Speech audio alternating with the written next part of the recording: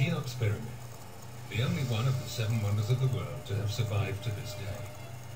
Five and a half million tons of stone raised 146 meters in just 20 years. These are the almost inconceivable facts that are given today about its construction. Admirably proportioned, the building keeps locked away in the silence of its stones the enigma of its design. And it has done so for the last 36 years. An impenetrable mystery? Nothing today On the contrary, the architect Jean-Pierre Houdin has a new theory that appears at last to guide us toward the truth. And what if the pyramid was built from the inside? This idea is the starting point for my theory. Basically, I assume the existence of an internal ramp spiraling right to the top of the monument. The principle behind this ramp, for which there is much supporting evidence, is the main crux of my theory, as it helps explain the construction problems which until now have remained unsolved.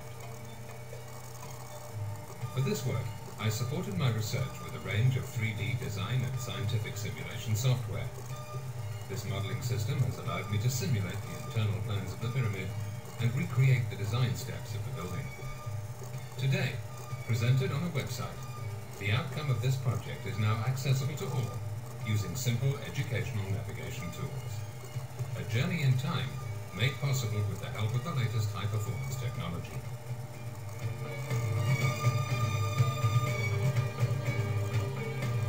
How would you raise millions of stone blocks to more than 140 meters in height? The most obvious answer, at least in part, is by using the external ramp. This ramp, a crucial feature of the construction, enables the bulk of the materials to be transported. Its progressive construction, timed to coincide with the stages of the pyramid's elevation, proves to be a simple and logical way of supplying the site continuously without stopping or even slowing down activity. The pyramid reaches 43 meters in height, that is 65% of its finished bulk, with the help of this external ramp. But beyond that, its effectiveness becomes doubtful. Indeed, let us remind ourselves that if we were to reach the top of the pyramid, such a ramp would be twice the volume of the pyramid itself, and would have a gradient that's far too steep. It then becomes difficult to imagine how the highest blocks would be transported and how the ramp would finally be dismantled. The 3D simulation of the sequence of phases in the construction of the pyramid, the external ramp, the internal ramp, the corridors, and the chamber superstructures, allows us to recreate the incredible level of geometric and spatial harmony that the designers reached for all these elements. It allows us in real time to validate the hypotheses, apply the parameter changes, and see them in an instant take effect on the whole structure.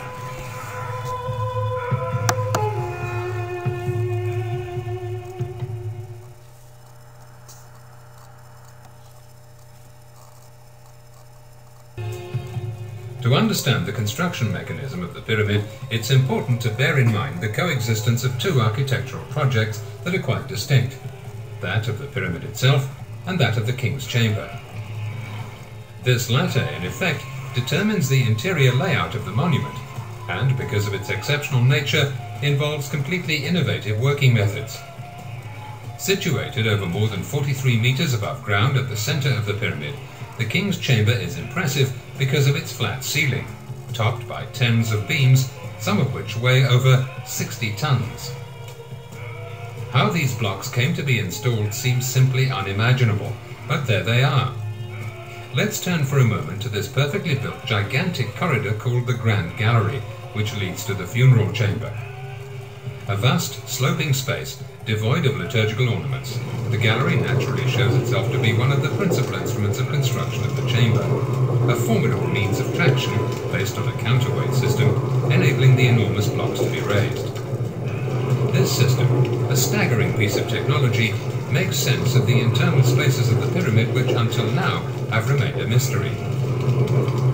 The dynamic 3D simulation of the counterweight trolley running on the roller track along the side benches of the Grand Gallery shows a very high level of expertise using simple materials like stone, wood and rope. In this scientific procedure, by undertaking many tests on various loads, materials, and friction levels, we gradually managed to optimize the operation of the internal traction system until we arrived at the most efficient digital dynamics simulation.